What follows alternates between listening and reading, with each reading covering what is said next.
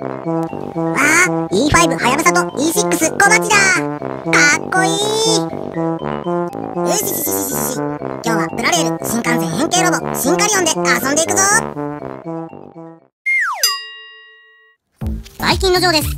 今日はプラレール新幹線変形ロボシンカリオンで遊んでいくよ。これは E5 はやぶさだね。実はこの撮影前日にバイキンの城ははやぶさに乗っていたんです。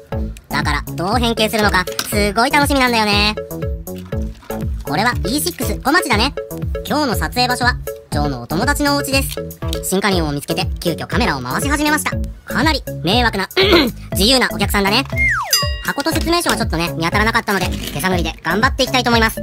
確かこんな感じだったかな。おできたできた。シンカリオンはずっと気になっていたからいろんな YouTuber さんの動画を見て作り方実は結構知ってます。このタイプのシンカリオンは2015年発売だったかな。今更動画に上げてもなーって思ったけど、まあ、正直おっとっとっとシンプルに遊びたかっただけです。腕は確かここを引っ張ればよかったようなおできた。で反対側もジャキーンってセットする感じだね。確かこの足の部分を少し前に出していたような気がする。こんな感じかな。ブロックドールのバイキンマンと比べると大きさの違いがわかるよね。あバイキンマンそこは危ないよ。えー、なんて日だ。真ん中の車両には武器が入っているよ。あれ？これは？あ武器だね。よかったよかった。確かこの部分は外すんだよねえー、っとここかな？あ剣になるんだね。じゃあ剣もセットしていくよ。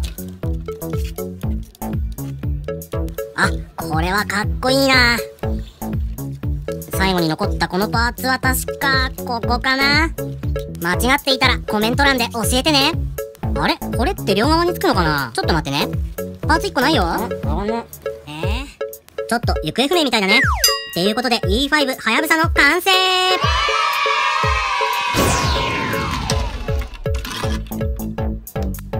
次は E6 小町を変形させていくよ。多分変形の仕方ははやぶさと同じかな。えあー。よし今度こそ。あできた。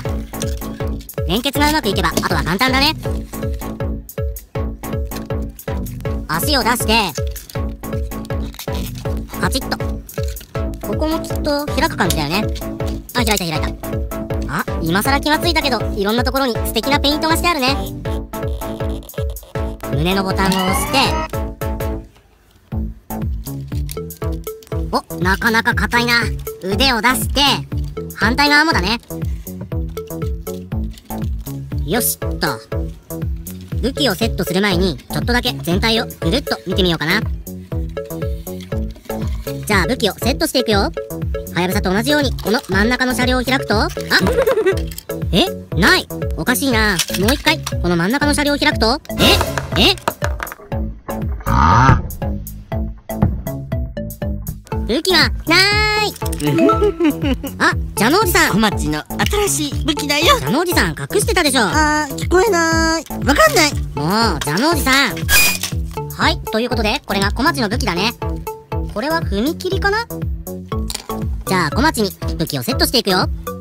あれ？違うのかな？あ、これね。カシャンとセットしたら、反対側も同じように、カチッと開いて、セットしていくよ。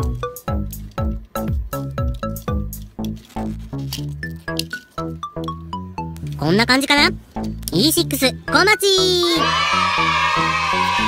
今回紹介したシンカリオンは2015年版かな？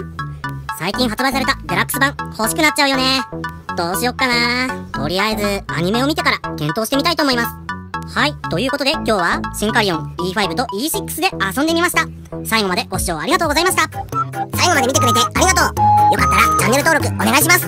Twitter、Instagram もやっているので概要欄からよかったらフォローお願いします。せーのバイバイキーン。